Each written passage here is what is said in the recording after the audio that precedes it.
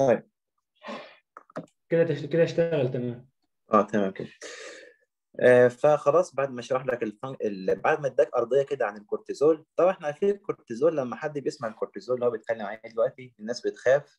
آه لكن طبعا هو بيشرح لك الحاجات الكويسة في جسمك يعني. فقال لك إن هو بيفيدك في ال adaptation والتأقلم لو في stress جالك وهكذا. لكن فكرة السؤال في منطقة ثانية بيقول لك بقى إيه what hormone إيه هو الهرمون اللي بي activate الكورتيزول دوت؟ اللي هو بدأ يشرح لك في ال fight بقى هو بيقول لك بقى what hormone activates the hypothalamus pituitary adrenal axis. الفكرة هنا إيه؟ إن إحنا عندنا فوق آه فوق إن ال hypothalamus ال hypothalamus ال hypothalamus بتفرز آه رسالة بتدي order كده أوامر لل pituitary gland خلاص pituitary gland. وال pituitary gland بتروح على ال adrenal cortex هنمشي إحنا دلوقتي وبعدين هنفصل يعني ماشي؟ ال adrenal gland بتروح على ال adrenal cortex تقول لل adrenal cortex افرزي الكورتيزول عشان يعمل لنا الحاجات الحلوة دي. خلاص؟ فالفكرة هنا بقى هو بيسألك في الحتة دي. هو بيسألك في حتة إيه؟ إن الخطوة دي اللي بيحصل فيها إيه؟ هو الهرمون اللي بيجي من ال hypothalamus من فوق خالص. ال hypothalamus ده يعتبر ال orderات بتاعة الإيه؟ ال nervous system.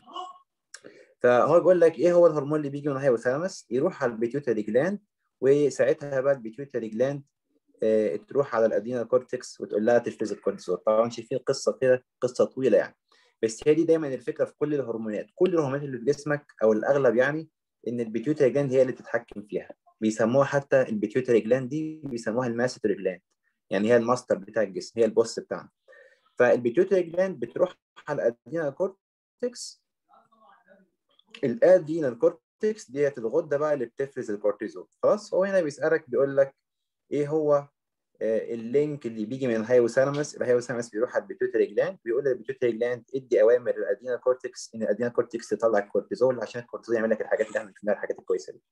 خلاص هو بيسألك عن ال link ده. لازم تعرف الهرمون اللي هو ال hypothalamus آه بيدي لل pituitary gland اللي هو اسمه ال corticoliberin ال corticoliberin خلاص؟ كلمة cortico جاية من كلمة الكورتيزول أو ال cortex cortico خلاص؟ وكلمة liberin معناها تحرير.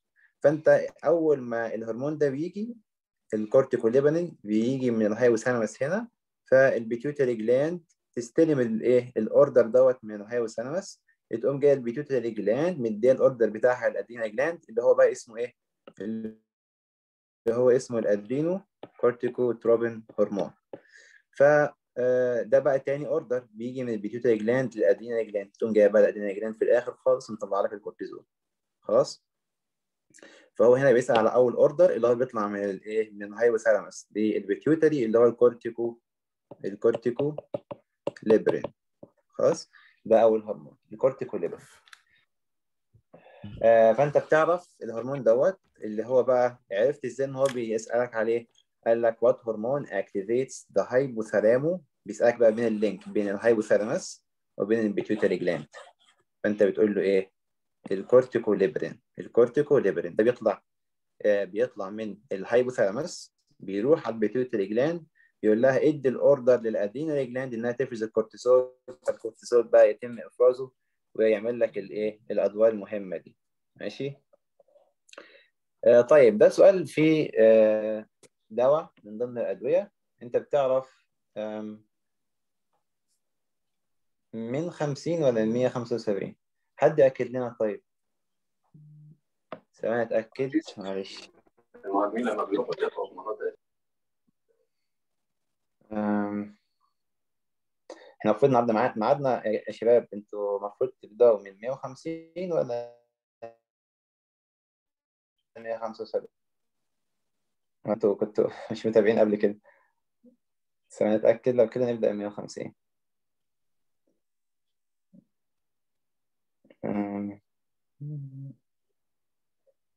النهارده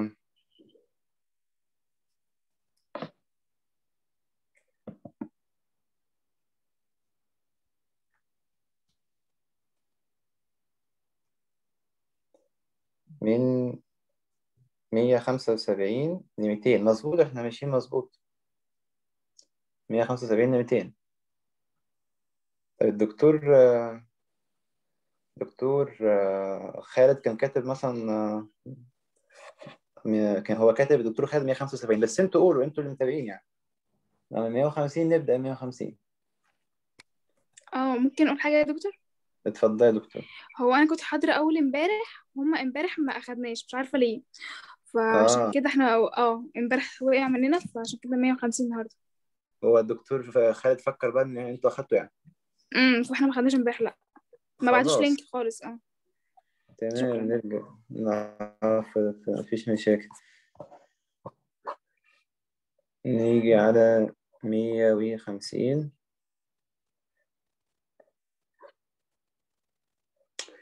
مية وخمسين مية وخمسين مية وخمسين طيب آه هنا في السؤال مية وخمسين آه شوفوا نقرأ السؤال سوا هو بيقول إيه؟ بيقول والله during gastric resection يعني إحنا كنا عايزين نشيل حتة من إيه؟ من ال gastric اللي هي آه الجاستريك اللي هي المعدة ماشي؟ طيب بيقول إيه اللي حصل بقى يعني هيعمل عمليه جراحيه صح لما بنعمل أي عملية جراحية بنكون إيه محتاجين إن إحنا ندي آه muscle relaxant حاجة تهدي الإيه ال muscles عشان يعرفوا يدخلوا ال- ال- ال tube لو عايزين يدخلوا tube آه تلاقي كده ال patient كده مسترخي ومستريح عشان يعرفوا يشتغلوا. ماشي؟ فدايما هو قال لك إن كانوا during gastric resection ال patient ده received a mixed anesthesia anesthesia اللي هو التخدير مع tubocurarine مع ال tubocurarine ف آه، ده هو إيه؟ ال tubocurarine ده هو ال muscle relaxant فاديله مخدر واديله مع المخدر muscle relaxant حاجة تهديله الايه تهديله ال muscle عشان يعرف يشت... عشان يعرفوا يشتغلوا يعني. خلاص دايما كده في ال surgery يعرفوا إن إحنا ندي ال muscle relaxant ده. حاجة آه تعمل relaxation لل muscle تمام؟ فيقول لك بقى إن إحنا خلاص ادينا ال muscle relaxant بيقول لك بقى to restore عايزين بقى ن restore نرجع ال spontaneous respiration طبعا هو لما بياخد muscle relaxant بيبدأ يعمل relaxant لكل حاجة. بيبدأ يعمل relaxant للجسم وهو ده مثلا هنا كان رايح على الأمعاء وكده فبيعمل muscle relaxation في الأمعاء. لكن المشكلة بقى اللي بتحصل إيه؟ إن ال muscle relaxation أحيانا بيحصل كذلك في العضلات المسؤولة عن التنفس. فبتلاقي التنفس بيبدأ يهدى. وده الخوف اللي بيحصل. لما أنت بتدي واحد مخدر وبتدي له muscle relaxant أثناء ال surgery بتخاف إن ال muscle relaxant ده آه، يسبب inhibition لل respiration فالعضلات اللي مسؤولة عن التنفس كذلك بيحصل لها إيه؟ relaxation فبيقول لك بقى إن إحنا خلاص عايزين ن restore نرجع بقى الايه ال spontaneous respiration to the patient عشان كده ادينا له ال proserin. هو بيقول لك بقى عشان كده إحنا ادينا له الدواء ده اللي هو ال proserin.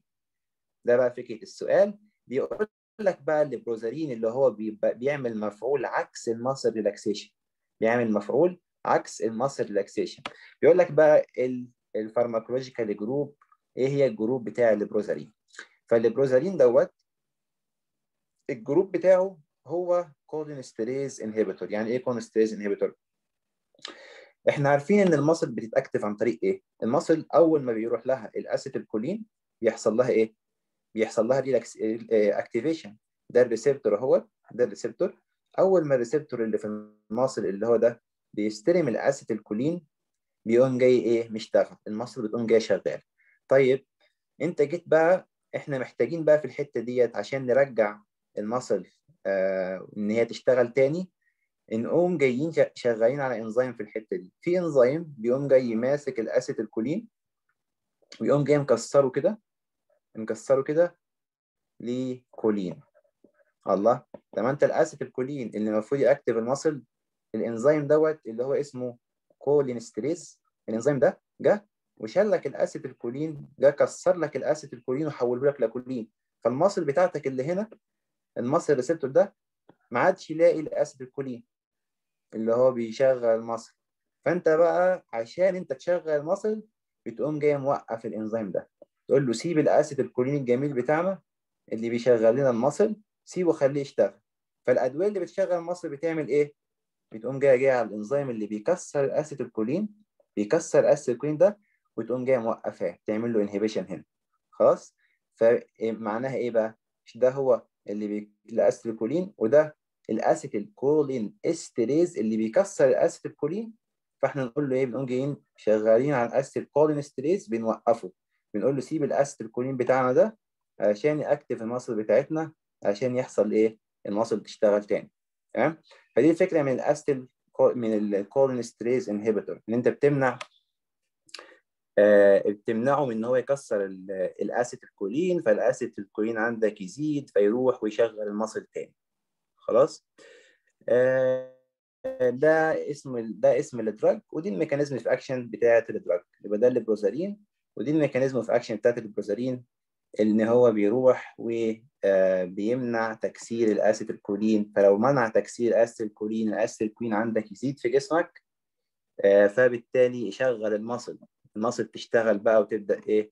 زي ما هو قال كده restore ال spontaneous respiration تبدأ ترجع بقى الايه تبدأ ترجع ال spontaneous respiration خلاص؟ طبعا الفكرة ده يعني ده فكرة شغل ال Proserin اللي هو بيتكلم عنها. لكن برضه هتيجوا بعد كده في أسئلة تانية هتتكلم على ال tubocurarine وإن هو بيشتغل إزاي. خلاص هتيجي برضه في الأسئلة بتاعتها يعني إن شاء الله. طيب. هنا لما بنيجي نتكلم على ال ال الأنواع ال hyperlipidemia يعني إيه hyperlipidemia hyper يعني زيادة. و lipid يعني زيادة للل lipid خلاص؟ فهنا في السؤال بيقول إن الراجل دوت أو الراجل دوت 67 year old man consumes eggs و pork و fat و butter milk والدنيا عنده إيه مفاتحها على الآخر يعني. خلاص؟ آه فبيقول لك ال blood test result إيه؟ لقوا إن نسبة الكورتيزول عنده الكوليسترول عنده زايدة جدا. خلاص؟ نسبة الكوليسترول زايدة جدا. ال total lipids عنده زايدة ال total لكن أهم شيء أهم شيء ده اللي بيحسم لك الموضوع إن هو قال لك إيه؟ أصل أنواع ال lipid دي كتير هايبر ليبيديميا هايبر ليبيديميا هايبر ليبيديميا هايبر ليبيديميا أنت محتاج تعرف ال hyperlipidemia type 2 محتاج تعرف ال hyperlipidemia type 2 ال hyperlipidemia type 2 ده بتعرفه على طول لما بتلاقي ال LDL شايفين ال LDL ال LDL low density lipoprotein. low density lipoprotein. فلما بتلاقي ال LDL أحيانا بيسموه ال bad cholesterol خلاص؟ لما بتلاقي ال LDL زايد في ده ده النوع الثاني من ال hyperlipidemia hyperlipidemia type 2A type 2A خلاص بيكون نسبة الكوليسترول زايدة مع نسبة ال triacylglycerol مع نسبة ال triacylglycerol الاثنين بيكونوا زايدين. تمام؟ فأنت تعرف على طول أول ما تلاقي ال LDL وتلاقي معاها ال low density lipoprotein ديت زايده وتلاقي نسبة الكوليسترول زايدة بتقول لي أنت مع الايه ال type 2A ال type 2A آه ال type الثانية هتقولها في الأسئلة مع مع لما بتيجي. لكن ال type 1 بيحصل يعني الأسئلة لما بتيجي جت سؤال على ال type 1 ال type 1 ده بيحصل مع ال chylomicrons مع الحاجات الأساسية خالص من البداية يعني. ماشي؟ وهتقولها برضه. بس دايما اعرف إن الايه إن ال LDL ال LDL آه بتكون مع ال type 2 تكون مع ال type 2 هي ليها صورة مجمعاهم. آه كل جدول كده مجمع الايه الانواع ديت. لكن آه ممكن نكون ما عملتش حساب إن إحنا نشرح من هنا أصلا. طيب آه نيجي هنا. الأدوية كترت جايبهم ورا بعض. فهنا جاب سؤال عن البنسلين. فكرة البنسلين إيه؟ ال antibiotics أو المضادات الحيوية لما بنيجي نقسمها بنقول والله في antibiotics بتقتل البكتيريا عن طريق إنها عن طريق إنها بي بتروح تدمر ال cell wall خلاص؟ بتروح تدمر ال cell wall بتاع البكتيريا. في class تاني يقول لك لا ال antibiotic ديت بنستخدمها عشان نوقف ال protein synthesis في البكتيريا نمنع البكتيريا إنها تعمل ال protein synthesis class تاني يقول لك لا أنا هضرب البكتيريا من ناحية ثانية يقول لك أنا هضرب البكتيريا من ناحية إن أنا همنع البكتيريا إنها تعمل DNA وهكذا. دي قسم كلاسات يعني خلاص؟ ففي class من الكلاسات اللي هي بتدمر ال cell wall بي بيكون بيحتوي على ال beta lactam ال class ده. ال beta lactam. فال beta lactam ده class من ال antibiotics class من ال antibiotics بتميزه بإن هو بيحتوي على الإيه؟ ال beta lactam. ده نوع من أنواع ال antibiotics اللي بيروح للبكتيريا بيروح لل cell wall بتاع البكتيريا ويقوم جاي مدمر ال cell wall بتاعها. خلاص طبعا أشهر واحد معروف وأول بكتيريا أول antibiotic اخترعوه اللي هو الإيه؟ البنسلين. البنسلين ده آه، المركب الكيميائي بتاعه فيه ال beta lactam antibiotic و آه، وبقول لك إن ال mechanism of action its mechanism of action بتاع ال antibiotic يعني is based on inhibition of murein production. بيقوم جاي مانع ال cell wall إنها إيه تتكون عند البكتيريا فيقتل البكتيريا. خلاص طبعا عرفت إزاي إنه عنده بكتيريا قال لك to treat bronchitis واحد عنده إيه bronchitis عنده infection وكده. فقال لك إن هم was prescribed ادوا beta lactam antibiotic خلاص ادوا beta lactam antibiotic فبيسألوك بقى ال beta lactam antibiotic ده إيه اللي في دول بيكون ضمن المكون أو ضمن المركب الكيميائي بتاعه؟ ال beta lactam دي. beta lactam ring. بتكون ring كده موجودة في ال organic structure بتاعة الايه البنسل ماشي؟ طيب آه نيجي للسؤال التالي. آه هو هنا بيقول إن ال cell membrane rest potential changed from إيه من بعد ما كان negative 85 ال negativity زادت. بقت إيه؟ بقت 90 فال cell بقت more negative خلاص ال cell بقت more negative فبيسألك بيقول لك إزاي حصل كده إن ال cell أو ال rest membrane potential بقت more negative بيقول it can be caused ان ال negativity لما زادت ديت it can be caused by activation of the following cell membrane. الفكرة بقى هنا إيه؟ إن آه لو قلنا إن ديت ال cell خلاص لو قلنا إن دي كده ال cell ال cell بتكون جواها نسبة البوتاسيوم ال positive الجميل ده بتكون نسبة البوتاسيوم أكتر. خلاص نسبة البوتاسيوم في ال cell من جوه بتكون أكتر فلما أنت لو أنت نسبة البوتاسيوم هي بره قليلة لو أنت فتحت الإيه البوابة هنا إيه اللي هيحصل؟ بقى هو دايما التحرك بيحصل من التركيز الأعلى للتركيز الأقل فهتلاقي البوتاسيوم ال positive الجميل بتاعك دوت بدأ يطلع بره صح؟ لو هو جوه بيكون أكتر وأنت فتحت البواب دايما الحاجة بتنتقل من التركيز الأعلى للتركيز الأقل. فلو أنت فتحت البوابة دي هتلاقي ال positive بتاعك ال positive potassium بتاعك بدأ يطير بره ويطلع بره. فبالتالي أنت عمال تخسر positive عمال تخسر positive عمال تخسر positive. فعشان كده ال cell اتحولت من إنها بقت كانت negative 85 بقت negative 90 ال negativity زادت فيها. ليه؟ بيقول لك إن it can be caused by activation of the following cell membrane. إيه هو ال cell membrane اللي لو ات activate واتفتح هيخلي لك هيخليك تخسر البوتاسيوم اللي بره اللي جوه ويخلي البوتاسيوم يطلع بره فتخسره. بتقول طبعا إن هو الإيه؟ إن هو البوتاسيوم ماشي؟ طيب معلش بقى الماتش شغال مش عارف الصوت أنتوا سامعين ولا إيه. آه طيب. آه نيجي هنا على السؤال اللي بعده. لو في حد مش واحد الفكرة يقول يعني عادي إن شاء الله. السؤال اللي هنا بيتكلم على إيه؟ على فيتامين E. فيتامين E ده هو ال king بتاع ال antioxidants يعني إيه antioxidants مش إحنا عارفين دايما بيقولوا مثلا إيه كل خضروات وكده عشان خضروات فيها مضادات أكسدة وتمنعك من الحاجات المؤكسدة. الحاجات المؤكسدة اللي في جسمك بتدمر جسمك. فأنت بتحتاج إن أنت تاخد حاجات إيه؟ مضادات أكسدة. بتروح تمنع الحاجات المؤكسده ديت إنها إيه تدمر لك ال cell membrane بتاع الخلايا تروح على ال red blood cells وتدمر لك ال red blood cells فدي كلها حاجات بتبقى antioxidants إحنا عندنا في ال vitamins عندنا بيكون في ثلاثة antioxidants اللي هو ال A وال C وال E بنسميهم ACE فدول ثلاثة في جسمك ثلاث فيتامينات في جسمك بيكونوا إيه مضادات اكسده أقوى واحد فيهم طبعا ال king بتاعهم إن هو فيتامين E ده هو the most powerful antioxidant خلاص يبقى دول كلهم antioxidants antioxidants مضادات أكسدة. بتحمي جسمك من خطر المؤكسدات. تمام؟ فهو بيقول لك إن شوف بقى أنت لو لو لو الفيتامين E ده مثلا إن هو the most powerful دوت. لو الفيتامين E قل إيه اللي هيحصل؟ المؤكسدات هتخش جسمك وهتدمر لك ال cell membranes وممكن تروح على ال cell membranes بتاعة ال red blood cells خلايا الدم الحمراء تبدأ تكسرها لك. فتعمل hemolytic anemia تبدأ تعمل لك انيميا ناتجة عن تكسير الدم وكده. فهنا بيقول لك إن في radiation ionizing radiation ال radiation يعني حصل إشعاعات أو vitamin E deficiency لو أنت ما عندكش فيتامين E آه بيقول لك بقى إيه؟ affect the cell by increasing the lysosome membrane permeability. بتبدأ الجدار الخلية بيبدأ ال permeability بتاعته أو النفاذية بتاعته بتزيد. جدار الخليه بيبدأ يبوظ بيتدمر. تمام؟ فبيقول لك what are the possible consequences of this pathology.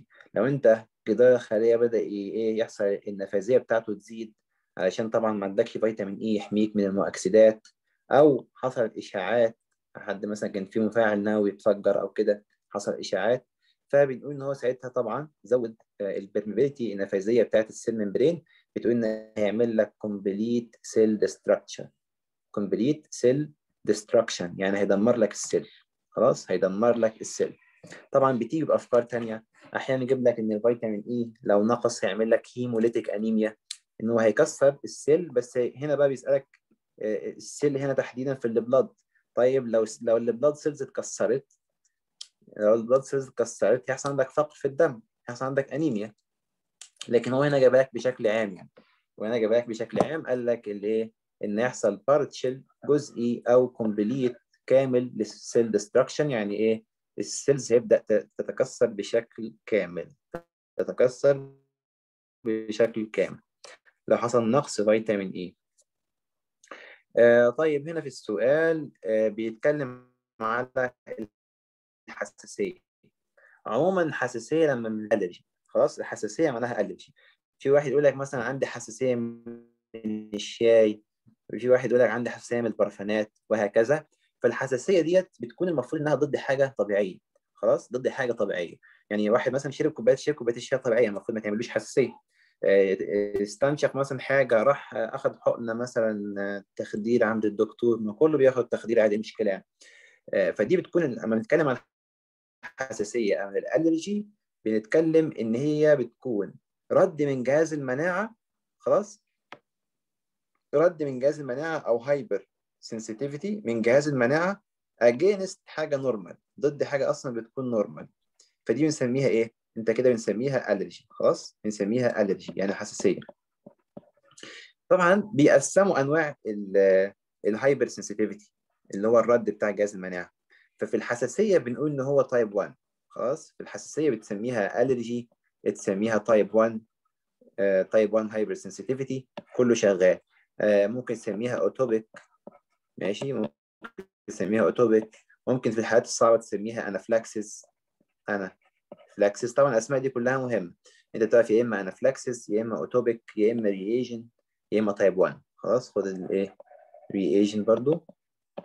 دول كلهم الأسماء اللي بتيجي عشان تقول لك إن أنت إيه إن أنت عندك ال allergy أو الحساسية. خلاص؟ فهو هنا بيقول لك إيه؟ بيقول لك a 22 year old woman uh, ate أكلت some seafood. يعني أكلت seafood اللي هو الأكل اللي إيه؟ مثلا سمك وكده. هوبا 5 hours later طبعا النوع الحساسية ده بيحصل بيكون fast بيكون very fast خلاص؟ ساعتين ممكن دقيقتين. بتكون إيه؟ بتميز نوع الح- الحساسية ديت بتتميز إنها بتكون إيه؟ بتكون سريعة. أنا أعرف واحد صاحبي كان قاعد بيشرب شاي مش عارف بطعم البطيخ ولا إيه هوبا بعدها بساعة وشه اتنفخ. وحصل عنده edema و itching و rash بدأ يحصل عنده كل الأعراض بتاعت الحساسية. خلاص؟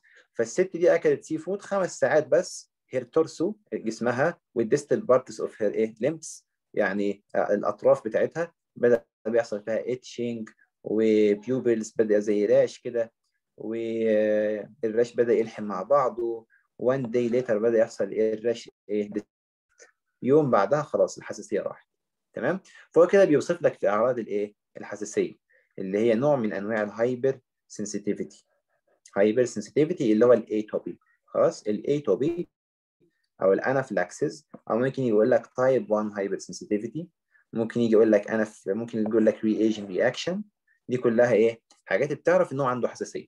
بس أحيانا بيلعب لك في المسميات يعني.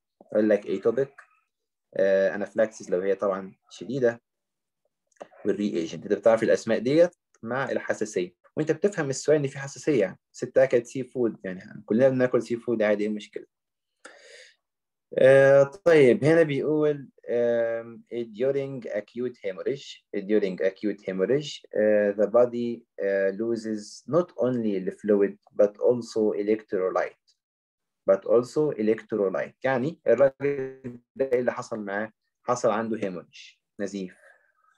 ألف سلام acute يعني خسر إيه؟ خسر fluid كتير جدا من جسمه. فيقول لك بقى إن هو loses not only fluid مش خسر بس ال fluid كده مثلا بس ده يقول لك لا وال electrolytes النزيف ده خلاه يخسر ال electrolytes اللي هي الإيه؟ اللي هي المعادن زي الصوديوم والبوتاسيوم والحاجات دي كلها.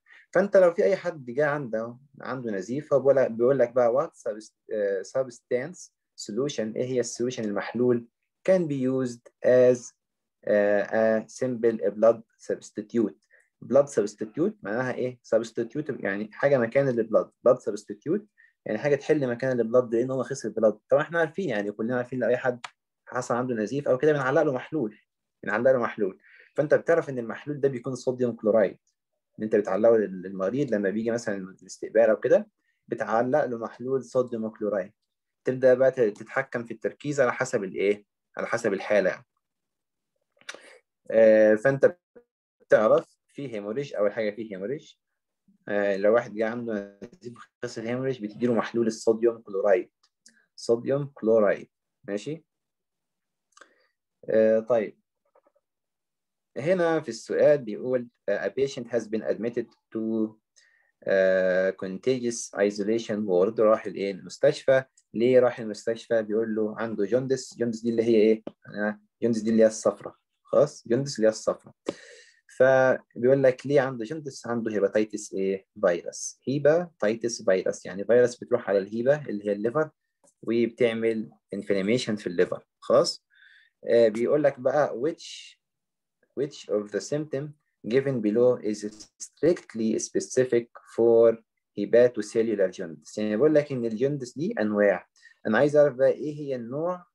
ماشي. إيه هي ال symptom الحاجة اللي هنعرف بيها إن هي jaundice صفرة منشأها مشكلة في ال liver hepato شوف كان عنده مشكلة في ال liver إن حصل عنده hepatitis فيروس وبعد كده حصل عنده jaundice اللي هي الصفرة. فهو بقى بيقول لك أنا عايز أعرف حاجة بتعرفني إن هو عنده hepatocellular jaundice ماشي. نعكس على الصفحة التالية.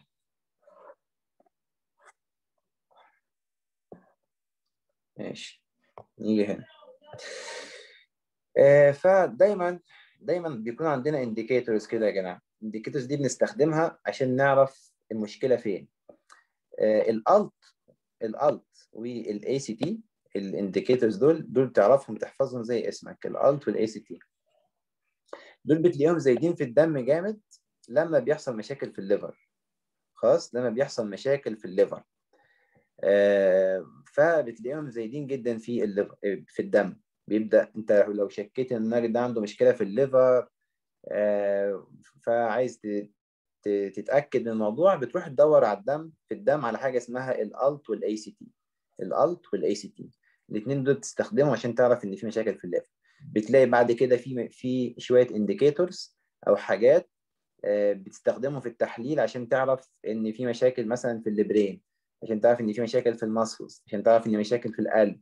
بتبقى indicators يعني ال ALT وال AST بيفرزوا في الدم بيتم إفرازهم في الدم من. لما بيحصل liver damage لما بيحصل liver damage أو مشكلة في ال liver بي... بيتم إفراز الايه ال ALT وال AST ماشي؟ آه طيب طيب طيب. آه هنا ده سؤال pathomorphology اتفضل يا دكتور. هو زيادة البيلوروبين برضو ممكن تعمل jaundice. بز... بالظبط آه. بس هو عاوز حاجة specific يعني هو ال hyper bilirubin ده ممكن يحصل لو في تكسير في الدم زايد مثلا صح؟ لو واحد عامل واحد عنده hemolytic anemia أو حاجة زي كده. فهو بيقول لك أنا عاوز حاجة specific يعني هو قال لك في السؤال إن هو عاوز حاجة specific لل hepatocellular jaundice يعني أحدد بيها إن المشكلة دي في ال liver. مش مثلا الراجل ده عنده تكسر في الدم أو كده.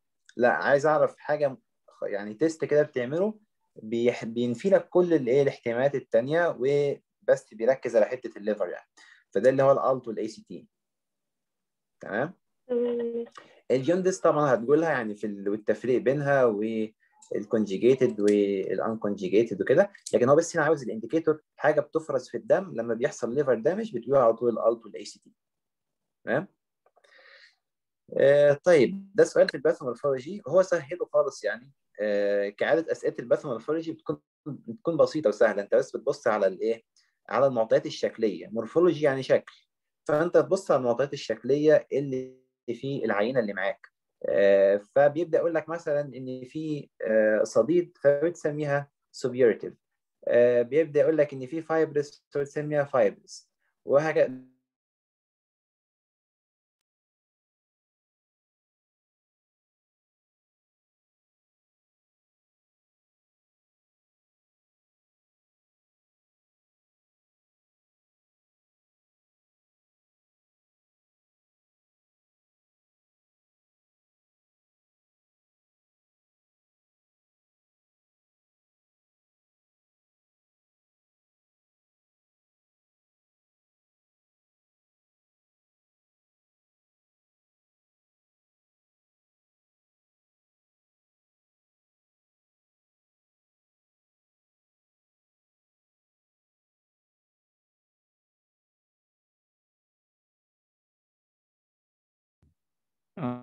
دكتور الصوت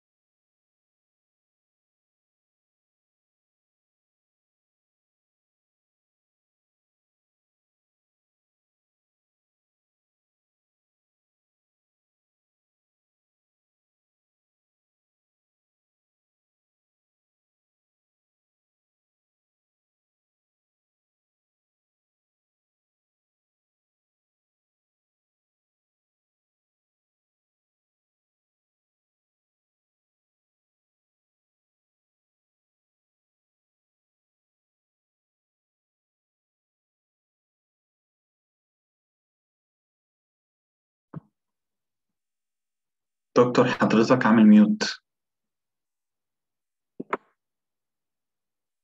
لا لا هو مش عامل mute. هو في ولا؟ accountين account بيسجل و account بيشرح منه. هو في حاجة في المايك. آه.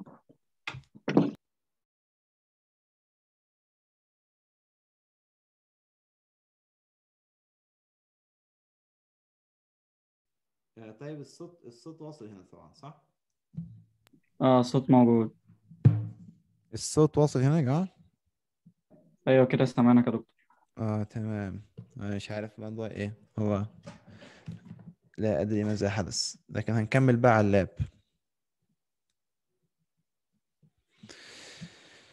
آه طيب طيب. أظن الصوت هنا أفضل. نرجع ل ال style القديم على ال lap. ونروح للأسئلة. لو احتاجنا حاجة هنرجع لها على ال iPad إن شاء الله. دقيقة بس.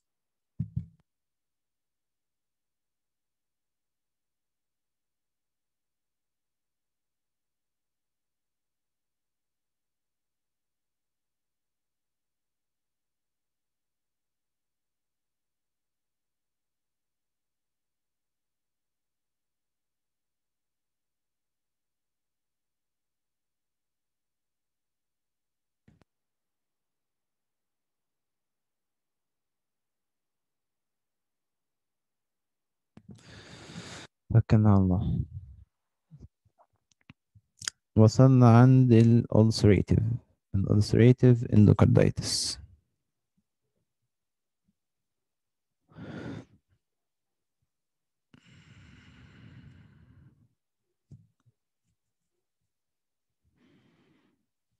عند المية وخمسين. تمام. طيب نبدأ نسجل تاني. آه ماشي. تمام كده واضح يا جماعة؟ أيوه زي تمام. طيب آه هنا بقى في في السؤال ده خلاص اللي هو قال إن عندنا ulcerative endocarditis. حددها لك يعني في المورفولوجي بتاعتها قال إن هي ulcerated. آه وأنت عارف طبعا اللي هي في ال aortic valve فأنت عرفت إنها endocarditis. يعني هي الاتنين دول كافيين جدا.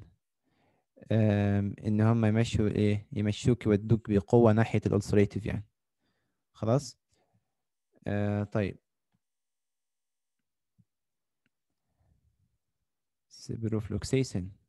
تقصد إيه بالسيبروفلوكسيسين؟ ده كان سؤال اللي هو تحت البنسلين. كان بيسأل السيبروفلوكسيسين بنعالج بإيه في السؤال بتاع البنسلين.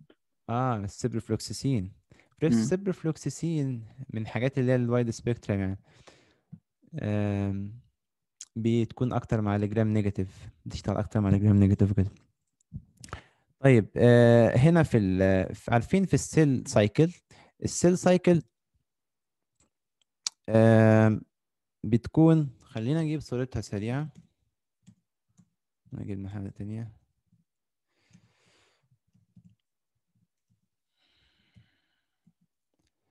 في ال cell cycle لما. لما بنتكلم عنها اللي هي دورة الخلية تمام دورة الخلية أم... نجيب الصورة مم.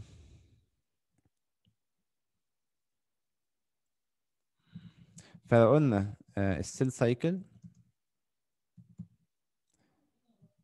cycle of the cell. شايفين هنا دي دورة الإيه؟ دورة الخلية. خلينا هنا. فالخلية بتكون في الدورة دي دي دورة الخلية. إنها آه، عارفين ال mitosis لما الخلية بتنقسم وبنعمل خليتين. بنعمل إيه؟ الخلية بتتقسم لخليتين وخليتين تانيين كل واحدة منهم تتقسم لخليتين وهكذا التكاثر الميتوزي. صح؟ آه، ففي التكاثر الميتوزي ال- ال- المرحلة بتاعت ال mitosis دي بنسميها ال mitosis زي ما إحنا عارفين اللي هنيجي لها دلوقتي. آه، لكن قبل بقى الخلية بتعمل إيه قبل ما هي بتكون في ال mitosis الخلية بتعدي على الإيه؟ ال phases دي المراحل اللي هي بتتأهل إنها تروح لل mitosis خلاص؟ بتتأهل إنها تروح لل mitosis ففي ال G 1 بتبدأ الخلايا تكبر شوية وتقول أنا أنا كمان شوية أهوت هعمل mitosis أو هعمل mitotic division فتبدأ إنها تكبر. تعمل عضيات جديدة تعمل ميتوكوندريا جديدة تعمل endoplasmic reticulum جديد. تيجي بقى هنا في ال S phase تقول أنا هعمل DNA جديد. خلاص مش أنا هعمل كمان خلية جديدة هنا في ال mitosis الانقسام الميتوزي. هنا بقى تقول أنا هعمل DNA جديد. أحيانا بيسألك بيقول لك ال DNA replication بيحصل في أنهي phase بتقول له في ال interphase ال interphase دي اللي بتشمل كل المراحل اللي قبل ال mitosis. خلاص؟ فبتقول له يا إما في ال interphase يا إما تحديدا لو سألك بتقول له في ال S phase ماشي؟ طيب الجي 2 بقى الجي 2 نفس الكلام بتبدأ إن أنت تنمو أكتر تعمل ميتوكوندريا أكتر وهكذا. يعني الاثنين دول بيكونوا نمو هنا growth وهنا growth وهنا بيكون في الإيه؟ آه هنا بيكون في ال DNA replication بتعمل DNA جديد. تيجي بقى خلاص خلصت أنت وتأهلت إن أنت تدخل على مرحلة ال mitosis تيجي بقى تقسم مراحل ال mitosis بسيطة جدا يعني أنت أول حاجة عندك pro meta ana telo pro meta ana telo pro meta ana telo ال meta بتقول إن هي في ال middle. اسمها سهل جدا. meta في ال middle. خلاص؟ يعني إحنا لو جينا بقى في ال mitosis نفسها وجينا هنا مثلا على الصورة دي عايزين حاجة مثلا تكون آه هنا. دي كويس فهنا هو مثلا في الإيه؟ ده ال mitosis بقى. إحنا خلاص خلصنا ال interphase واللي بيتكون من جي 1 وبعدين إس وبعدين جي 2 خلصنا ال S في ال- ال interphase. بنروح بقى على ال mitosis ال mitosis ال inter ده ده خلاص ال interphase اهو. ده بقى الايه ده كل ده pro meta ana telo. ده انت كده فين؟ ده انت كده في مرحلة ال mitosis خلاص هتنقسم يعني. فال prophase آه، بتبدأ إن شايفين ال- الكورتين دول اللي هما ال ال عليهم الايه اللي بيطلعوا ال spindles دول يعني. فبيجي يقول لك إن ال spindles خلاص بدأت إنها تتشكل. شايفين دول mo بتقول إن هي move to the poles ده قطب بنقول عليه pole وده قطب بنقول عليه pole آه اسمه centromere افتكرت. ده ال centromere بيبدأ يروح كده إيه؟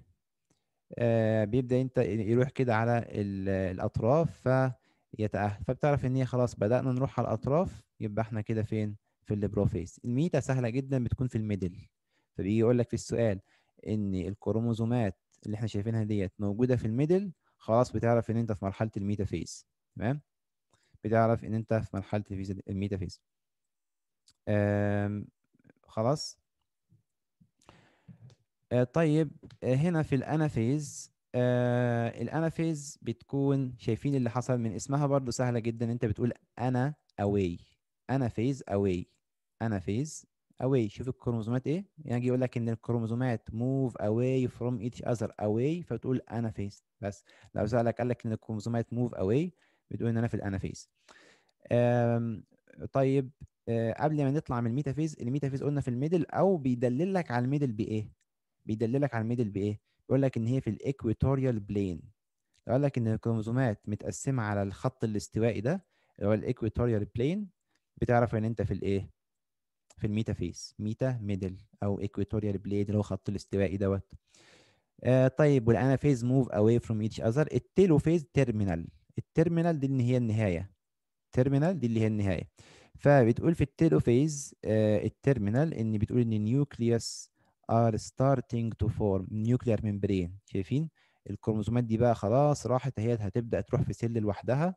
ودول هيبدأوا يروحوا في ال cell لوحدهم وبدأ إن هم يتكون ال cell membrane فقال لك إن ال cell membrane بدأ يتكون إن ال nuclear ال nuclear membrane اللي هو جدار النواة بدأ يتكون على طول بتعرف إن أنت في ال telophase يجي يقول لك في السؤال كده ال nuclear membrane are starting to form بدأ يتكون خلاص يبقى أنت في ال telophase ده خلاص بقى كل واحدة وبقى ليها nuclear membrane وهو خلاص هينقسموا يعني.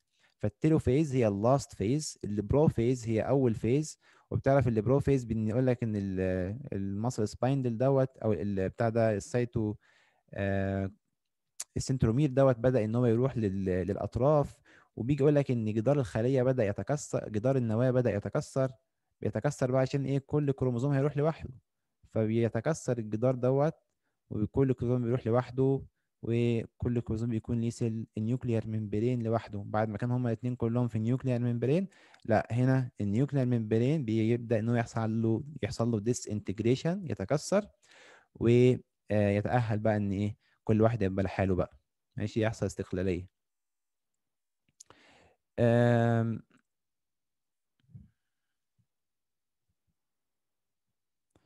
طيب طيب. نرجع للسؤال. آه، فهو بقى هنا في السؤال قال إيه؟ قال إن إحنا في ال equatorial plane.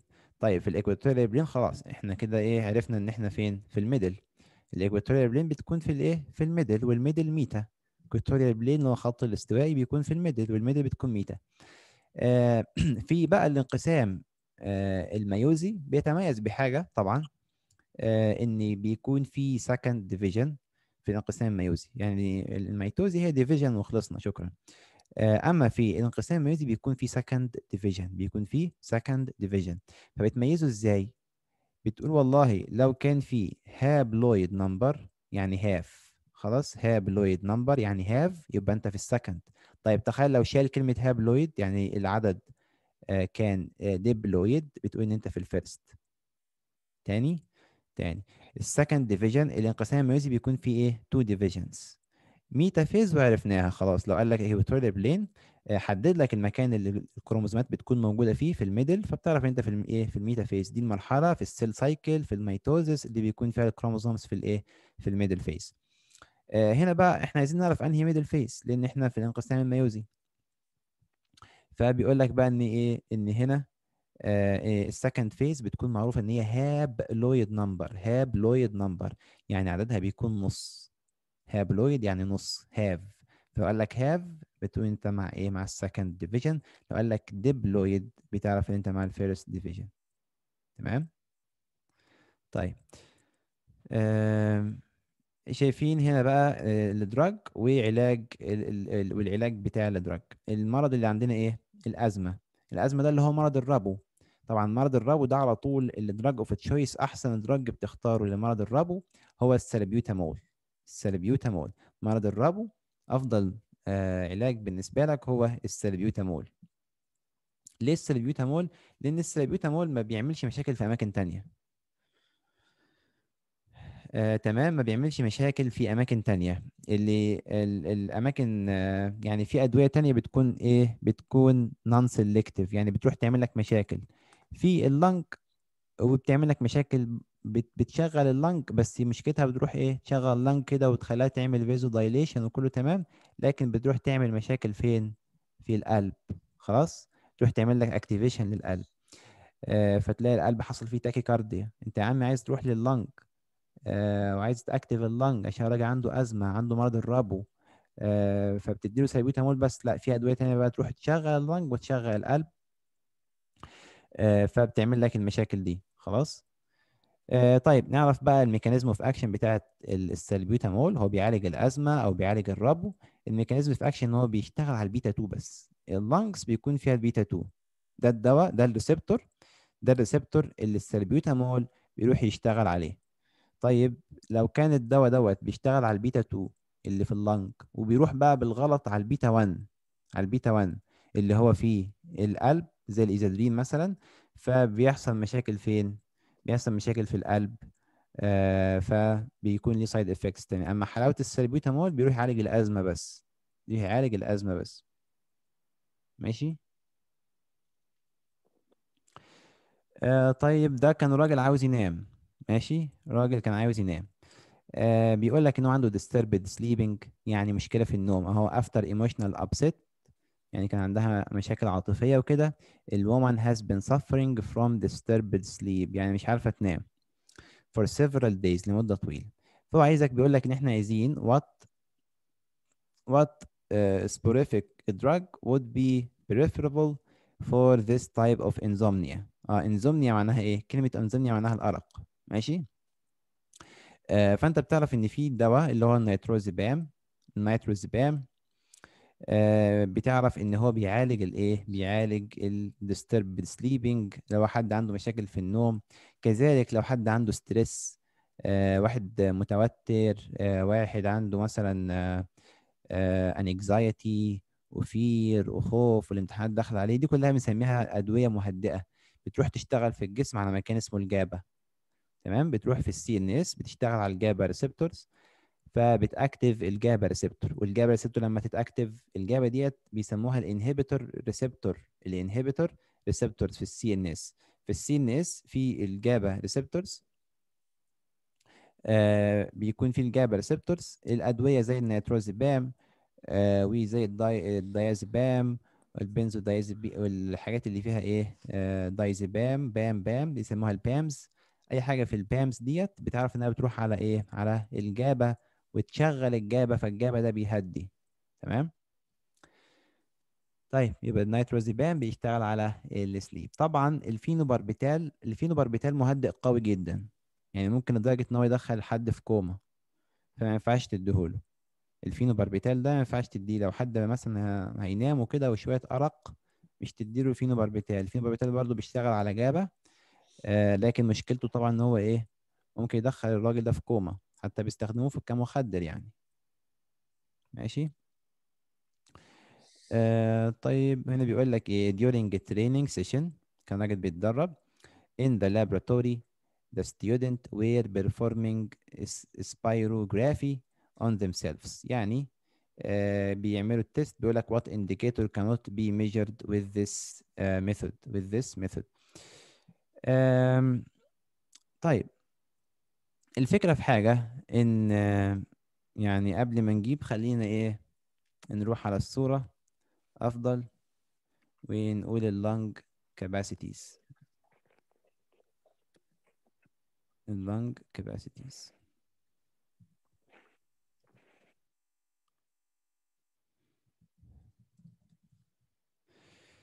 أم فلو جينا هنا مثلا دي كلها ال lung capacities and volume ماشي؟ دي ال lung capacities and volume. الفكرة في إيه؟ إن يعني هي الفكرة الصورة دي بتاخد معاك وقت شوية عشان أنت تستوعب كل ال volumes اللي فيها. إحنا هنحدد volume اللي هو إيه؟ دي كلها لما بتاخد شهيق في ال lung شهيق كامل خالص ال lung بتتملي كلها كده بتتملي خلاص؟ ده لما بنعمل spirometer spirometer ده الجهاز اللي بيقيس التنفس يعني. فلما انت بتاخد شهيق كامل بتتنفس كده كامل بتملى ال lung للآخر. فكل أول حتة اللي هي ال inspiratory volume ده ال volume الأولاني. ال inspiratory reserve ال volume الأولاني. وبعدين بعد كده ال tidal ال volume الثاني آه وبعدين بعد كده ال expiratory reserve ال volume الثالث وهكذا. ده كله بيتملي. تمام؟ المفروض إن أنت ما بتملاش ال lung للآخر يعني كده. المفروض إن أنت في النفس الطبيعي بتكون عند ال tidal. بيسموه ال tidal ده هنا الهادي. خلاص ال tidal ده يعني الهادي كده شهيق وزفير شهيق وزفير. فتبقى أنت قاعد كده إيه؟ شهيق زفير شهيق زفير. تبقى أنت واقف في ال tidal. لو أنت أخدت شهيق عالي بتطلع تخلي الإيه؟ تملى ال volume ده اللي هو ال inspiratory reserve volume فلو أخدت forced inspiration تبقى أنت مليت خالص كل ال lung. وبعدين أخدت بقى هديت في الطبيعي يبقى أنت كده. inspiration expiration inspiration expiration وهكذا. آه طيب لو أنت طلعت بقى لو أنت طلعت فضيت ال lung خالص شايف كل اللي فوق ده كل اللي فوق ده يبدأ يفضى كل من أول من كل اللي حاجة اللي فوق ال residual دي كل ده كده يطلع يفضى لو أنت اخدت زفير قوي قوي طلعت كل اللي في إيه في الرئتين. طب هل ممكن تطلع ال volume الأخير ده اللي هو ال residual volume مستحيل. ده ما بيطلعش من الرئتين. ده بيفضل ثابت في الرئتين. ده لو مش موجود في الرئتين هتلاقي الرئتين بتاعتك كأنها إيه فرقعت ما عادتش خالص ما عادش في رئتين خلاص. فال... فهو بقى بيقول لك إيه هو الحاجة اللي ما نعرفش نقيسها؟ إحنا بنعرف نقيس الحاجات دي كلها لأن أنت لما بتاخد زفير كامل بتقوم جاي مطلع كل ده. أخدت شهيق كامل بتاخد كل ده تدخله جوه.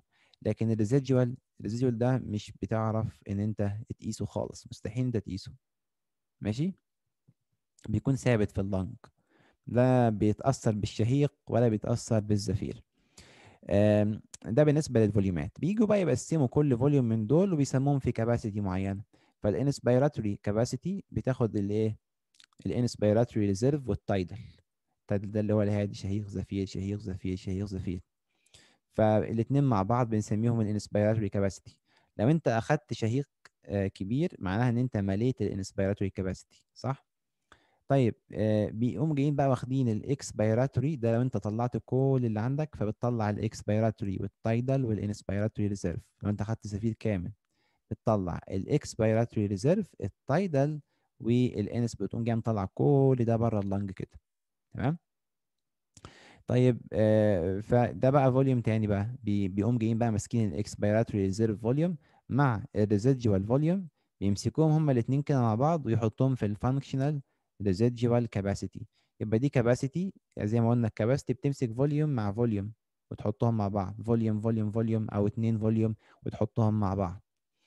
فالفوليومين الأخير اللي هو residual volume وال expiratory volume بيحطهم في ال functional residual capacity. طب هل أنت تقدر تقيس ال functional residual capacity هل تقدر تقيسه؟ ما تقدرش تقيسه ليه؟ لأن في residual إحنا قلنا ال residual ده محدش بيجي ناحيته محدش بيعرف يروح ناحيته. لا أنت تعرف تقيس ال residual ولا أنت تعرف تقيس ال functional residual capacity أو ال functional capacity اللي فيها أصلا ال residual ماشي؟ وهي دي فكرة السؤال. هو قال لك في السؤال هنا آه إني قال لك في السؤال هنا ان آه ال spirography ده اللي إحنا بنقيس بيه التنفس قال لك what indicator cannot be measured. إيه هو ال indicator اللي ما نعرفش نقيسه؟ إيه هو ال indicator في دول اللي ما نعرفش نقيسه؟ فبتقول له الحاجة أي حاجة فيها residual ما تعرفش تقيسها. أي حاجة فيها اللي هي ال functional لسه شايفينها دلوقتي. ال functional residual capacity فيها ال residual ده محدش بيعرف يقيسه محدش بيعرف ياخد له شهيق أصلا عشان يقيسه محدش بيعرف ياخد له زفير عشان يقيسه. هو ثابت في ال lung ثابت ما بيتحركش. ماشي؟ آه طيب آه في السؤال دوت أنت بتعرف إيه هي ال إيه هي ال bug اللي هي ال Chagas disease وديت ال bug ال disease ودي ال bug اللي بينقل ال disease اللي هي triatomine ال triatomine bug ال triatomine bug بتنقل الايه المرض دوت اللي هو ال Chagas disease ال Chagas disease آه فبيكون موجود يعني المرض دوت آه في أفريقيا وكده وبينتقل عن طريق الحشرة ديت اللي هي ال bug خلاص؟ ممكن برضو إن أنت تقول إيه؟ إن أنت تس... لو عايز تعرف ال species بتاعتها اللي هي ال trypanosomiasis أو ال trypanosome ال trypanosomes ده نوع الإيه؟ ده ال species بتاع ال بتاع الإيه؟ الحشرة اللي بتسبب لك ال Chagas disease ال Chagas disease خلاص؟ أنت بس بتعرف اسم المرض اللي هو ال Chagas disease والحشرة اللي بتنقل المرض اللي هي اللي ترايتومين دايما كده بتعرف بعض الحاجات اللي بتنقل بتعرف مثلا الملاريا بتنقل لك الناموسة اللي بتنقل لك الملاريا اللي هي آه الأنوفيلس آه تمام؟ آه فبتعرف الإيه؟ ال- الحاجات اللي بتنقل الحشرات اللي بتنقل الايه الأمراض يعني. طيب آه نيجي هنا في مسألة آه ال embolism. ال embolism معناها انسداد صح؟ كلمة embolism دي معناها انسداد. فهو هنا عايز يعرف إيه نوع الانسداد اللي حصل. بيقول a 50 year old woman was brought to the emergency department. آه ودوها لإيه؟ الاستقبال ألف سلامة. after a car accident بعد ما حصل حادثة. فبيقول لك بقى ال traumatologist diagnosed her with multiple fractures. يعني كان لا عندها إيه؟ كسور كتير. multiple fractures. ده عندها كسور كتير. of the lower extremities. كسور تحت في الأطراف السفلية. فراح بقى سألك في إيه؟ قال لك what kind of embolism إيه نوع الانسداد اللي هيحصل؟ is the most likely to develop. الفكرة لما بيحصل كسر وتكسر في العظم العظم اللي بي- بيكون فيه جزيئات الدهون ساعتها بت- بتبدأ تفرز وتنتشر في الدم. خلاص؟ بيكون في جزيئات دهون موجودة في العظم بتبدأ إنها إيه؟ تنتشر في الدم. تطلع آه، من ال bone marrow وتبدأ تنتشر في الدم. أحيانا بقى الجزيئات ال adipose دي بتروح تعمل لك embolism بتروح تعمل لك انسداد في الأوعية الدموية.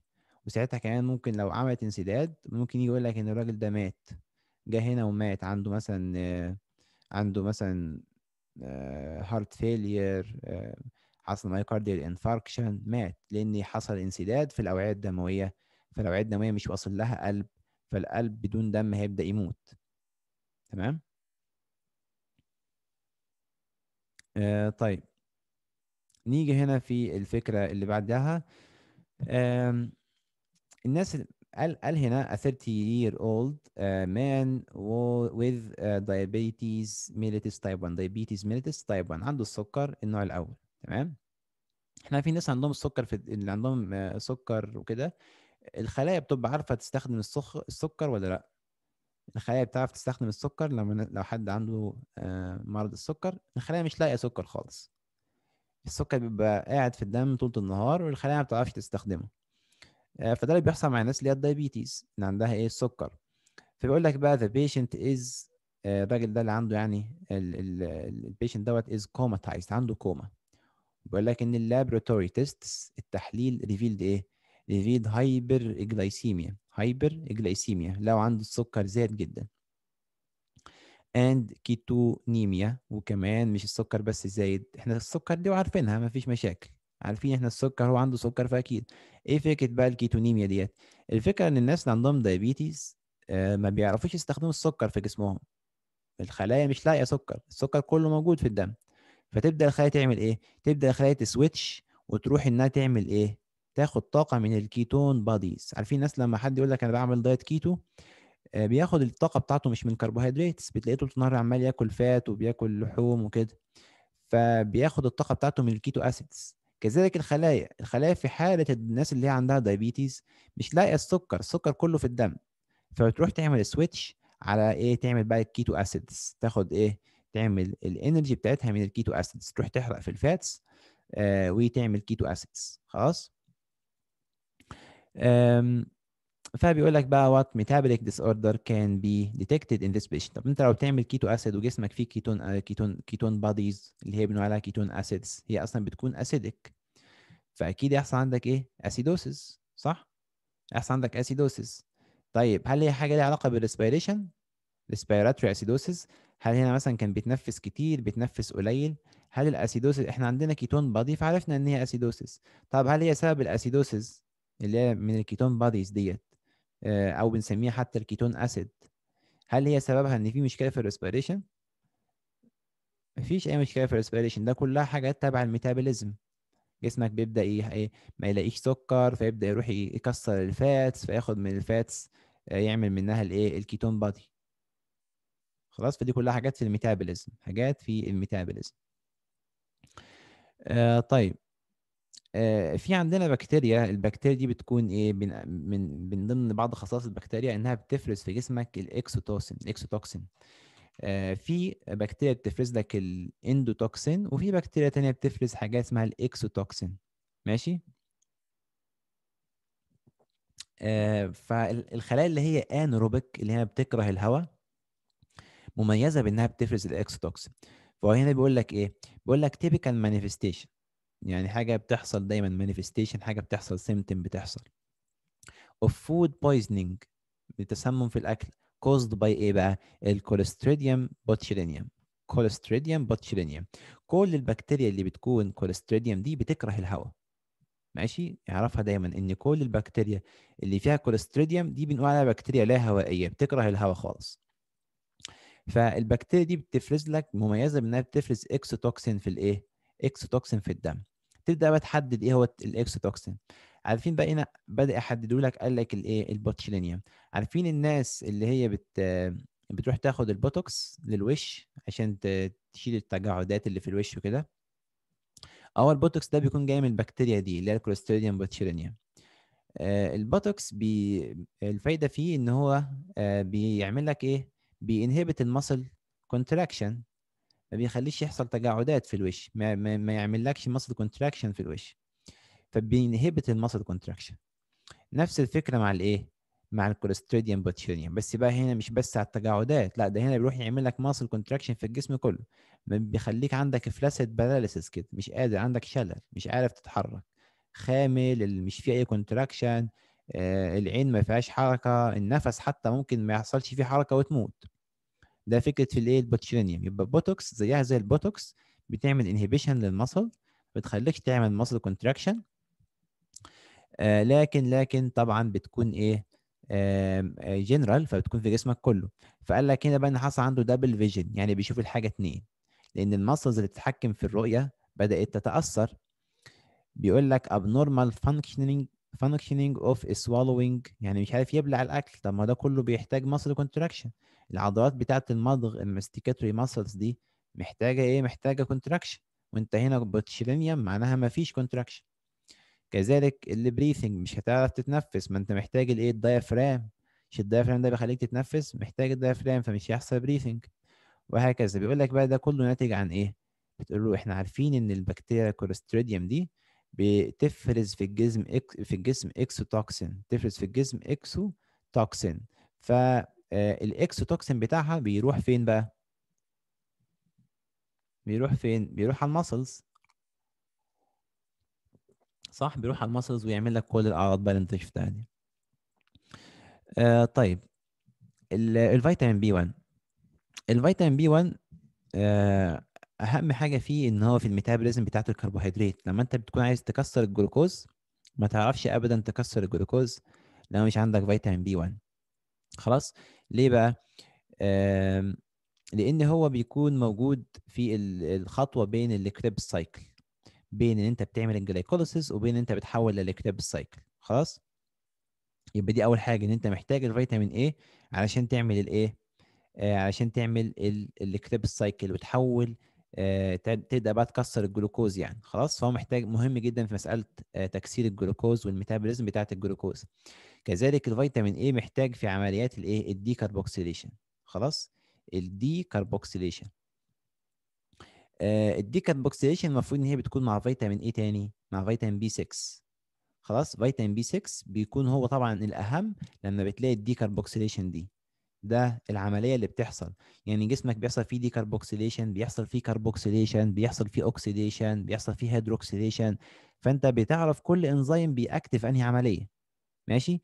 أنت تعرفها دايما إن ال B 1 بيكون مع ال keto acid oxidative decarboxylation بيكون مع ال keto acid decarboxylation خلاص؟ بقية بقى الحاجات بقية ال decarboxylation بتعرف إنها مع ال B 6 أو ال pyridoxal phosphate طبعا لما تيجي لأسئلة ال B 6 هتعرفها بس افتكر دايما إن ال decarboxylation مع ال B 6 ولو اتكلمنا عن ال decarboxylation بتاعة ال keto acid اللي هي بتاعة ال keto acid بتعرف إن أنت برضو ال thiamine أو B 1 خلاص؟ بقية ال decarboxylation بقى هتلاقيها كلها مع الايه مع فيتامين B 6 خلاص؟ آه طيب. آم، هنا بيقول إن الست ال- الست دي كانت إيه؟ Um, a 30 year old woman developed the signs of virulism يعني إيه virulism هو حطها لك اهوت بين القوسين. قال لك body hair growth. يعني عندها زيادة في الشعر. وهي woman.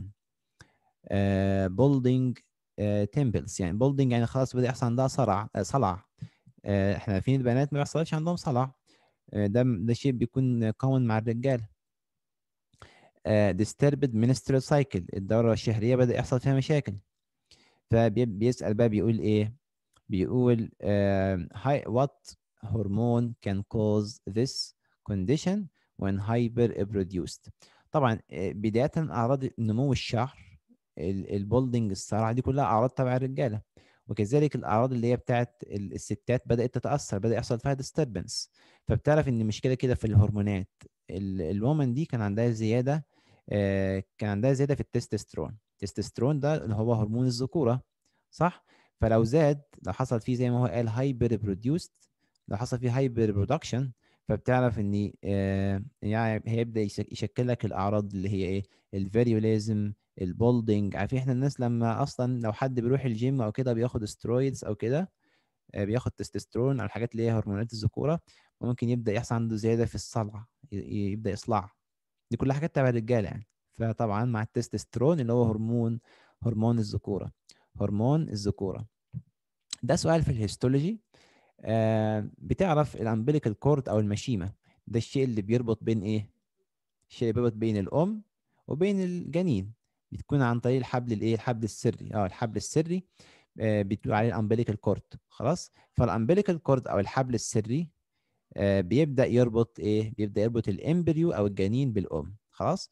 هو هنا بقى بيتكلم لك في ال في ال histology بتاعت ال umbilical cord ال umbilical cord في أكتر من أسئلة بتعرف إن ال histology بتاعتها بيكون فيه ال Wharton jelly ال Wharton jelly بتعرف إن أنت مع ال umbilical cord خلاص مع ال umbilical cord كذلك ال umbilical cord بيكون آه، فيها شوية yolk sac أو بقايا ال yolk sac. ال yolk sac ديت آه، آه، ده اللي هي بتكون أول دم في جسمك بنقول عليه ال yolk sac.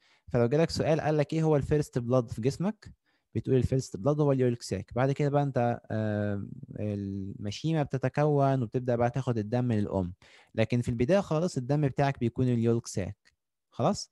عموما أنت بس اه- اهتم جدا إن ال umbilical cord ده اللي هو الحبل السري اللي بيربط بين الأم وبين الجنين آه، بين ال mother وبين ال fetus وال histology بتاعته بيكون في جيلي في ال extracellular space بتاعته. خلاص؟ آه، طبعا هتلاقي حاجات تانية إن هي mucous و connective tissue وحاجات زي كده بس أهم شيء إن أنت تعرف إن ال yolk آه، ال- ال Wharton jelly بيكون في جيلي كده في الحبل السري آه، وبقايا ال yolk sac اللي هي ال yolk sac دي اللي هي بتعمل لك أول دم في جسمك.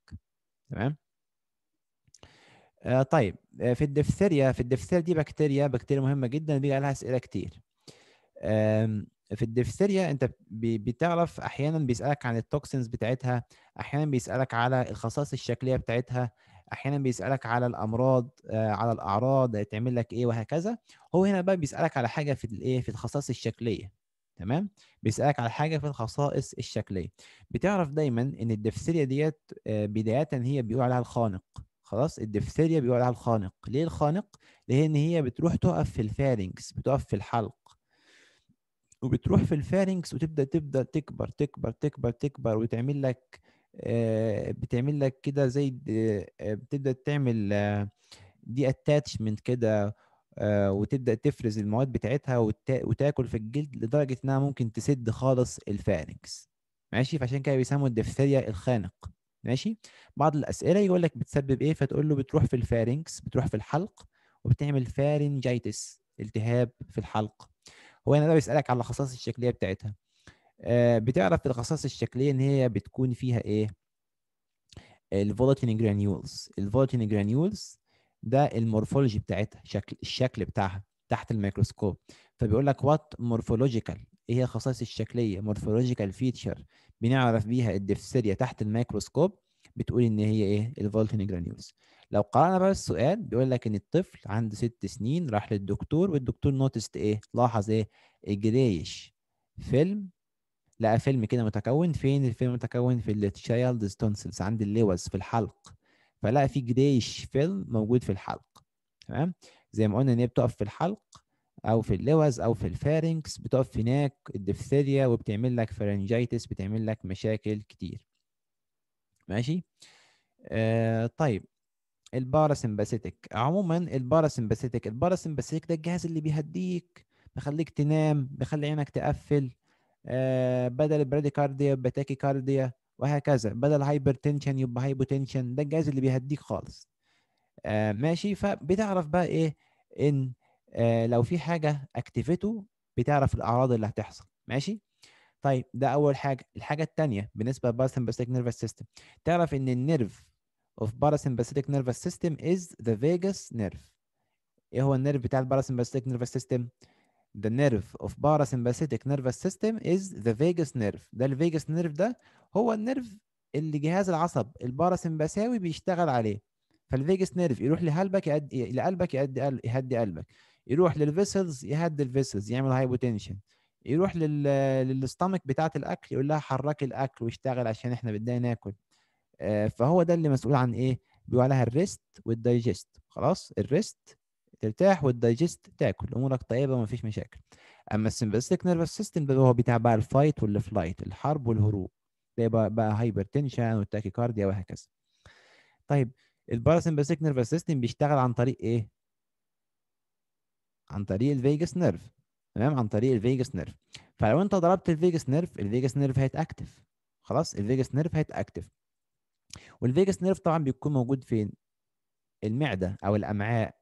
هيكون موجود فيها vagus nerve ولا هيكون موجود فيها ال sympathetic innervation؟ المعدة بتاعتك محتاجة إيه؟ محتاجة ال sympathetic nervous system ولا محتاجة ال parasympathetic عشان تهضم الأكل؟ الجهاز العصبي المسؤول عن الأكل والطعام والراحة والحاجات دي كلها. المعده هيكون فيها ال parasympathetic هيكون فيها ال vagus nerve. ماشي؟ فده اللي حصل هنا بقى فكره السؤال بيقول إيه؟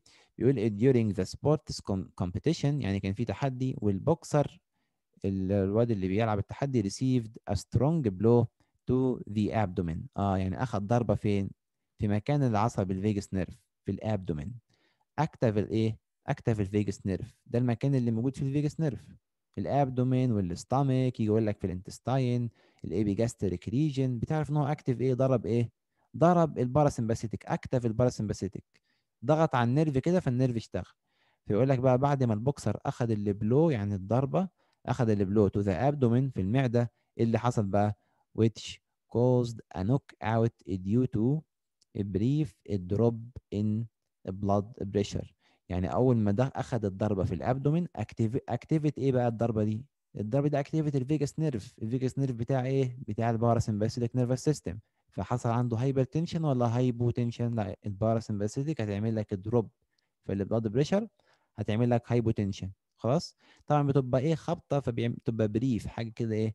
لحظة كده بت... إيه؟ بتعمل brief فسببت ال knockout يعني خلاص الحكم صفر يعني. فبتقول إن سبب الحوار ده كله stimulation of parasympathetic nervous system. stimulation of parasympathetic nervous system ده بيكون السيناريو حصل كالآتي واحد أخذ الخبطة في ال في ال abdomen الخبطه اللي في الأبدومين اكتيفيت الفيجاس نيرف الفيجاس نيرف اتاكتيف فبدأ يعمل ال drop في ال blood pressure فبدأ يعمل لك المشاكل. تمام؟ طيب هنا بيقول إيه بقى؟ آه بيقول والله after severe stress. آه كان في severe stress. تمام. بيقول لك the patient presents with eosinopenia آه يعني بعد ما كان عنده ست... بعد... لما كان عنده stress اللي حصل؟ حصل عنده eosinopenia يعني ال eosinophils حصل فيها penia ال eosinophils دي خلايا. فحصل عنده إيه؟ آه حصلت فيها penia penia يعني نقص. يجي يقول لك مثلا آه يعني نقص في ال thrombocyte eosinopenia يعني نقص في ال eosinophils penia ديت معناها نقص. ماشي؟ فبيقول لك بقى إن بعد ما هو كان عنده stress وبعد ما وبعدين إيه لقوا إن إيه presents with eosinopenia نقص في ال eosinophils في ال blood بيقول لك بقى in this case the decreased number of eosinophils. إيه اللي سبب ال decrease في ال eosinophils بيسألك بقى can be explained uh, can be can explained changes in the level of the following hormone. إيه بقى الهرمون؟ اللي هيفسر هي explain إن إحنا عندنا نقص في ال eosinophils إيه هو الهرمون اللي بيسبب نقص لل eosinophils ده السؤال بقى بتاعه. إيه هو الهرمون بقى اللي هيكون سبب لنا الحاجة ديت اللي هي الايه ال eosinopenia نقص في ال eosinophils فبتقول طبعا إن هو الايه الكورتيزول. آه الكورتيزول ده آه ده طبعا بيكون إيه بيكون من ضمن الأعراض بتاعته إن هو بينقص لك ال eosinophils الكورتيزول بينقص لك ال eosinophils ماشي؟ فكنا في البداية بنتكلم عن ال cortisol وال cortisol بيطلع من فين؟ من ال hypothalamus من ال corticoliberin أهو بقى دلوقتي إيه؟ بيقول لك على الكورتيزول ده من ضمن الحاجات اللي بيعملها إيه؟ بتقول له هو بيطلع في ال stress زي ما إحنا شفنا. آه وبتقول له إن هو بيسبب نقص في ال eosinophils بيسبب نقص في ال eosinophils ماشي؟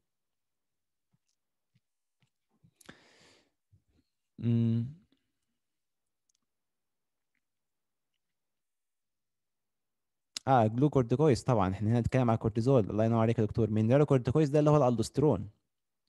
تسلم يا دكتور. mineralo آه mineralocorticoids ده اللي هو الألدوسترون. ده ملوش علاقة بال stress ولا حاجة. ده بيبقى الألدوسترون اللي بيروح في ال kidney وبيسحب لك صوديوم وبعدين بعد كده آه الإيه يسحب الصوديوم فالصوديوم يسحب وراه مية فيزود لك نسبة المية في الدم وهكذا نسبة ال fluid في الدم وهكذا. ماشي؟ لكن ال glucocorticoids ده اللي إحنا بنتكلم عن إيه؟ عن الكورتيزول اللي بيعمل inhibition لل eosinophils ماشي؟ اللي الناس طبعا بتاخده لو عايزة تهدي ال inflammation وكده. طيب. آه شوفوا هنا في في ال الفكرة في في السؤال. آه إن أحيانا نسبة الإيه؟ نسبة ال erythrocytes في الدم بتبدأ تزيد. ماشي؟ نسبة ال erythrocytes في الدم بتبدأ تزيد. إحنا عارفين إن لو ال erythrocytes أو خلايا الدم الحمراء لو زادت لو قلت هنقول عندنا إيه؟ حد يفوقنا كده؟ أنيميا. erythrocytopenia يحصل أنيميا. تمام. لو زادت بقى نسبة ال erythrocytes بيحصل عندنا حاجة اسمها polycythemia خلاص؟ يبقى الأنيميا عكسها ال polycythemia الأنيميا زيادة ال polycythemia ال ال الأنيميا نقص ال polycythemia زيادة. ماشي؟ آه فهو هنا في السؤال آه قال إيه بقى؟ قال إن a 30 year old patient's blood test revealed the following erythrocytes count كان في الستة. خلاص؟ ال erythrocytes count كان في الستة. مرتفع. آه ال erythrocytes المفروض يكون إيه في ال range دوت. ماشي؟ في ال range دوت من اتنين لتلاتة ك average يعني. وقال لك بقى هو حد وكمان الهيموجلوبين آه بدأ يتأثر نتيجة لكده بنزود دم على الفاضي فالهيموجلوبين بدأ إيه يقل شوية. آه وقال لك خلاص إن هو عنده الايه ال Vaquez disease ال Vaquez disease ده اللي هي زيادة في الايه في ال erythrocytes قال لك إن آه was diagnosed. فبيقول لك بقى إيه name ال disease ال disease يا إما بتقول عليه erythro erythroid hyperplasia hyper يعني زيادة plasia يعني في العدد آه فال erythrocyte زادت في العدد. زي ما شفنا هنا بقت ستة بدل ما هي المفروض تكون من اتنين لتلاتة يعني زادت حدود الضعف وكمان بيقول لك إن إن كان إيه ال Vaquez disease ده اللي هي تعرف إن هي إيه ال neoplastic hyperplasia erythroid hyperplasia. طبعا الزيادة قد تكون إنها حاجة طبيعية أحيانا بتكون طبيعية ماشي؟ آه لكن هنا قال لك إن هي neoplastic. neoplastic يعني كان في إيه آه زي ورم. خلاص زي ورم. عشان كده قال لك ال Vaquez disease.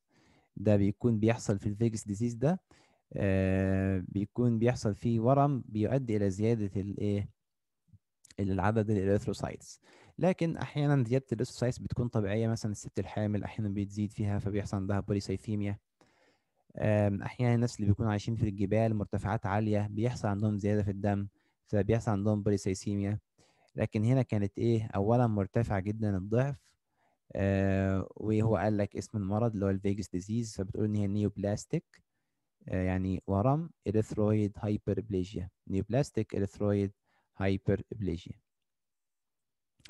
آه طيب في السؤال دوت آه 174 دي كلها أسئلة بتتكلم على ال mechanism of ال mode of inheritance يعني إيه؟ يعني في بعض الحاجات بتنتقل عن طريق إن هي complementary interaction. في بعض الحاجات بتنتقل عن طريق ال complete dominance أو في epistasis في إيه polymery في over dominance فالحاجات دي كلها بتاخدها مع بعض بتميزهم عن بعض. خلاص؟ آه فهنزل لكم على طول حاليا يعني على الواتساب شرح ليها كلها يعني مجمعه الايه الحاجات اللي هي ال mode of inheritance غير ال dominant وال recessive الحاجات اللي هي ال polymery وال multiple allelism والحاجات دي كلها. فانتوا خدوهم مع بعض هتبقى أحسن يعني. ماشي؟ طيب إحنا كده خلاص المفروض إن إحنا هيكملوا بقى إن شاء الله بكرة مع الجدول بإذن الله. إحنا كنا مفكرين بس النهاردة إن إحنا نبدأ 175 دكتور. اتفضل يا دكتور. لو سمحتوا ال... ال... في ناس مش على ال group على الواتساب عشان الواتساب group مكتمل فمش بيقبل أي والله؟ member آه فممكن تبعت على التليجرام أحسن يعني. هبعت لو لكم على التليجرام وهبعت لكم الواتساب اللي هو فاضي. برضه بينزل عليه اللينكات كل يوم يعني. ما المشكلة إن أنا جيت أدخل عليه ما ما بيعمل لي سجري أم، تمام. اللي هو رقم ثلاثة مش عارف والله. لا هو موجود ال link بتاعه موجود على التليجرام. طب خليك معايا برضه ثواني هبعت لك ال link دلوقتي. شوف ده كده.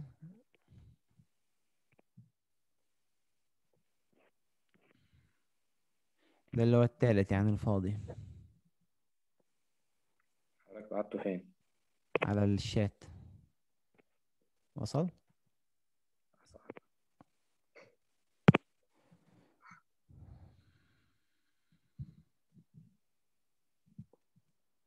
آه وصل يا دكتور. تمام دخلت كده صح؟